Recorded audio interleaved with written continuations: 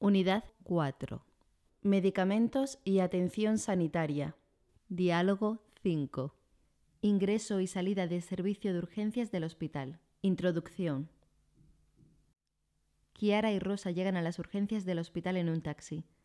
Debido a los valores de tensión que tiene Rosa y que exceden los resultados habituales conseguidos con la medicación que toma, entran en urgencias y se dirigen a la enfermera de la entrada. Buenos días. Hemos venido porque Rosa tiene la tensión bastante alta a pesar del tratamiento que sigue para la hipertensión. Sí, estoy un poco mareada y me duele la cabeza. Siéntese en esta silla de ruedas. Y ahora le pasa un celador a un box 4. Usted vaya mientras tanto a dar los datos de la enferma a admisión de urgencias y después espere en la sala de espera que le avisemos. ¿No me puedo quedar con ella? Es que está un poco nerviosa. ¿Es una enferma dependiente? No, pero es que es muy mayor. Bueno, pues entonces no se preocupe. Y cuando le hagamos las pruebas le avisamos para que pase con ella. De los datos y espere en la sala de espera. No te preocupes, Rosa, que todo va a estar bien. Sí, seguro que todo es un susto.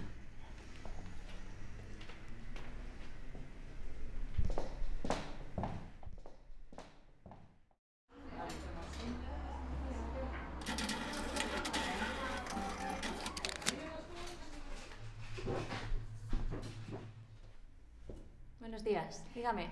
Hola, vengo a dar los datos de una enferma que ha entrado por urgencias. No sé qué documentos necesitas. Sí, tiene que dejarme el DNI y la tarjeta sanitaria de la enferma, por favor. Aquí tiene.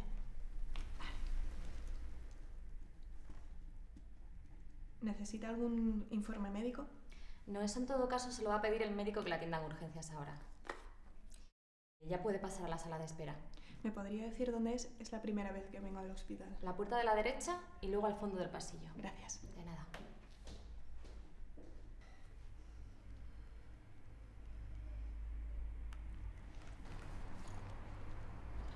Sí, dígame. Hola Andrea, soy Kiara. Te llamo para decirte que estoy aquí en urgencias con tu madre porque tiene la tensión alta, pero no te preocupes, solo te llamo para informarte. Bueno, Kiara, pero ¿te ha comentado algo el médico?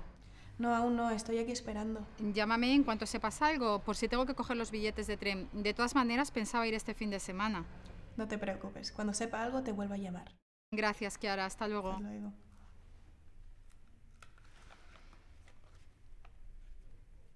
Familiares de Rosa Mendoza Fernández, pasen por información. Hola, soy la persona que cuida de Rosa. Su hija vive fuera. Cuéntame qué le pasa. Bueno, Rosa ha llegado con la tensión bastante alta, pero teniendo en cuenta la edad que tiene, no es preocupante. Le he cambiado la medicación para ajustar a la dosis y ahora la tensión ya estaba estable. Aquí tiene el informe, ya podéis, si quiera, recoger a, a Rosa y llevarla a casa. No obstante, si en un momento determinado la situación vuelve a dispararse, no dude en venir a urgencias. De acuerdo. ¿Tengo que darle la medicación que me ha puesto en el informe durante cinco días? Sí, y vaya pidiendo ya cita con el médico de familia para que la examine y vea si tiene que seguir con la dosis que yo he dado o cambiarla a la que tenía antes. Bien, gracias por todo. Buenos días y que se mejore.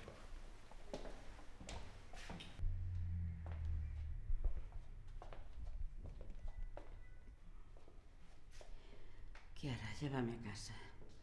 Estoy cansada y quisiera acostarme un poco. Sí, he hablado con tu hija y vendrá a verte este fin de semana. Qué bien. La echo tanto de menos.